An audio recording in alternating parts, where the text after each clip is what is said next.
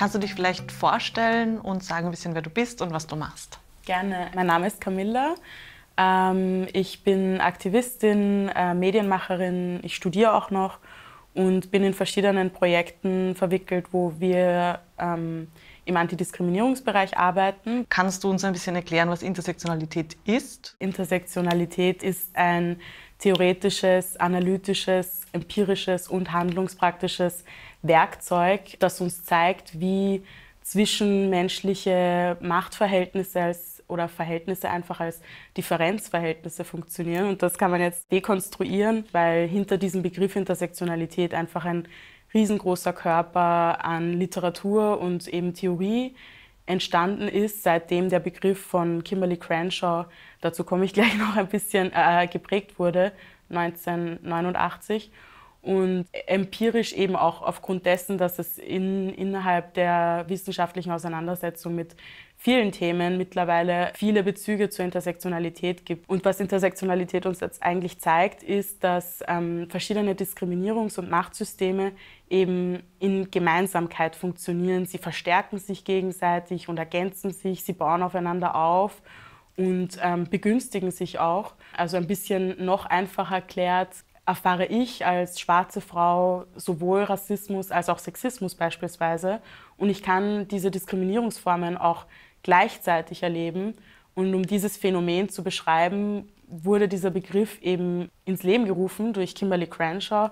Das ist eine ähm, schwarze Menschenrechtsaktivistin, die auch Juristin ist und anhand eines Gerichtsfalls erkannt hat, dass eben Frauen Sexismus und Rassismus gleichzeitig erfahren und das aber gesellschaftlich nicht berücksichtigt wird.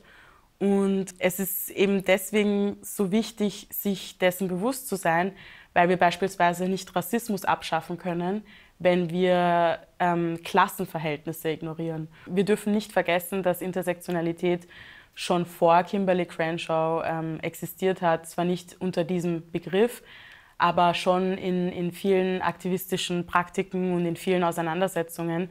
Und dieses Konzept, das dahinter steht, stammt eben aus, aus, aus den Kämpfen von Antisklaverei-Aktivistinnen und, und, und Feministinnen in den USA. Und erst wenn wir ein Verständnis für diese Mehrdimensionalität haben, die in Diskriminierungs- und Machtsystemen einfach vorherrscht, können wir überhaupt erst Handlungen, Praktiken entwickeln, um dagegen zu kämpfen um auch entgegenzuwirken und da was zu machen. Wie kann man Intersektionalität jetzt auch gezielt zum Beispiel für die Universität denken? Für die Universität, ich glaube, da gibt es voll viele ähm, Zugänge, wie man Intersektionalität berücksichtigen kann in der Uni. Also das fängt an natürlich, wenn wir jetzt uns überlegen in Regionalstudien, wenn wir zum Beispiel über Lateinamerika oder Afrika-Wissenschaften sprechen, dann ist Intersektionalität insofern wichtig, als dass wir erstens auch weg müssen von einem eurozentrischen Blick auf die Wissenschaft, aber auch eben verschiedene Lebensrealitäten in ihrer Komplexität verstehen müssen. Es ist aber auch wichtig, indem wir zum Beispiel Zugänge schaffen, also wer, wer, wer studiert, wie viele Kinder aus Arbeiterinnenfamilien können an der Universität studieren, können sich das leisten, wie viele Personen aus Familien mit Migrationsgeschichte können studieren, was ist der Anteil von von Frauen oder von queeren Menschen in dieser Gruppe. Aber auch wenn wir über Zugänge ähm, sprechen, müssen wir auch über Barrierefreiheit sprechen. Ist die Universität, ist das Universitätsgebäude barrierefrei? Haben Leute im Rollstuhl beispielsweise Zugang? Oder wird berücksichtigt, dass es Menschen gibt, äh, die neurodivergent sind oder ähm, Dyslexie haben und ähm, wird berücksichtigt beispielsweise auch, dass alleinerziehende Mütter studieren ähm, und so weiter. Das kann man immer weiter spinnen. Eine Wissenschaftlerin hat immer eine Position, aus ja. der heraus auch ein Forschungsinteresse entsteht. Und natürlich ein Forschungsinteresse einer weißen Mittelschichtperson anders ist als einer Arbeiterin oder einer Person of Color oder Ja, so. total. Ich glaube, dass man dann halt einfach versäumt, dass es so viele andere Perspektiven auf Dinge gibt und so viele andere Zugänge zu den Themen. Also man sagt ja immer, man muss objektiv sein, wenn man zum Beispiel, ähm, ja, wenn man forscht. Aber objektiv ist ja eigentlich niemand. Wir sind ja alle geprägt durch unser Heranwachsen, durch unsere Umgebung, durch die Menschen in unserem Leben. Die Universitäten verwenden den Diversitätsbegriff, um sozusagen diese Themen der Verschiedenheit, also wie ist das auch das Versuchen, das sich zu öffnen für verschiedene Realitäten. Wie findest du, passt dieser Begriff mit Intersektionalität zusammen? Das sind auf jeden Fall Begriffe, die oft auch zusammen irgendwo stehen und zusammen gedacht werden und auch irgendwie zusammengehören. Aber auf jeden Fall beides Begriffe, die man auch ein bisschen natürlich immer kritisch hinterfragen muss. Und wenn wir über Diversität sprechen, ist es halt oft so, dass Diversität einfach nur ein schönes Wort ist, aber im Endeffekt keine Praxis. Und ähm, bei der Intersektionalität verhält sich das so ein bisschen ähnlich, dass wir halt dadurch viele Erkenntnisse gewinnen und viel analysieren können, aber dass wir die Praxis der Intersektionalität erst entwickeln müssen. Wir müssen erst schauen, wie wir jetzt damit umgehen, wie wir damit umgehen, dass so viele Systeme eben wirken. Da gibt es halt auch keine eindimensionalen Lösungen für mehrdimensionale Probleme. Wenn die Universität jetzt dieses Thema Intersektionalität mehr aufgreifen würde, auch in der eigenen Organisationskultur, in der eigenen mhm. Praxis. Was bräuchte es deiner Meinung nach als Expertin, aber auch noch so ein bisschen die Frage aus der Perspektive äh, von Studierenden, die auch genau von diesen Diskriminierungsachsen betroffen sind? Also ich glaube, dass das also einerseits extrem wichtig ist, dass die ähm, Gestaltung von Universitätsleben, Inhalten etc.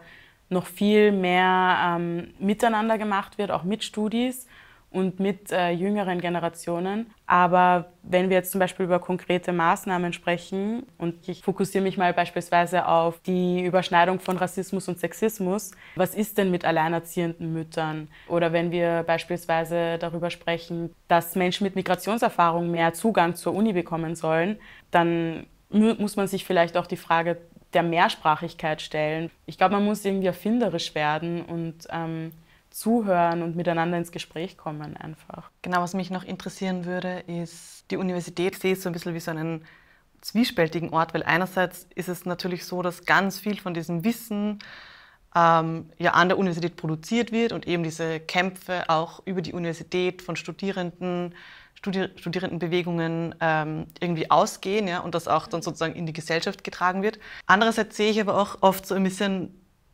dass die Universität dadurch sozusagen von sich selbst ausgehend sagt, na ja, aber wir produzieren ja dieses Wissen und äh, wir sind alle so links oder so antirassistisch. Deshalb sozusagen gibt es das auf der Universität eigentlich nicht. Ja? ja. Also so, dass sie sich selbst so ein bisschen als, als immun äh, gegen solche Vorwürfe irgendwie auch ähm, zeigt, die Universität sobald Leute denken, dass sie irgendwo angekommen sind und bereits alles wissen und nicht mehr weiter an sich arbeiten müssen, haben wir verloren, weil ich glaube, man kann immer was Neues, also ich weiß, man kann immer was Neues dazulernen und ähm, man ist nie fertig mit diesem Prozess der Dekonstruktion von Dingen, die uns einfach vermittelt werden, seit wir auf die Welt gekommen sind. Und ich denke, man muss immer kritisch hinterfragen und besonders eben in so Räumen, wo Leute glauben, dass sie schon informiert genug sind, ist es dann besonders schwierig, auch so ähm, Fragilitäten irgendwie zu entgegnen. Der Umgang mit Kritik ist sehr schwierig und auch der Zugang, also die Offenheit auch für neue Leute, die Offenheit zum Beispiel Leute in, an den Kämpfen mit Teilhabe zu lassen, die ähm, ähm, nicht in einem Unikontext sind und beispielsweise nicht Angela Davis schon gelesen haben, das ist ganz schwierig dann irgendwie, dass man, äh, dass, dass, dass Leute dann irgendwie auch sehr überheblich und eingebildet werden ähm, und es gar nicht mehr schaffen, irgendwie ein normales Gespräch mit einer Person zu führen und eben auch direkt getriggert sind. Also ich kann das verstehen, dass wenn ähm, diskriminierende Aussagen getroffen werden, dass das verletzend ist.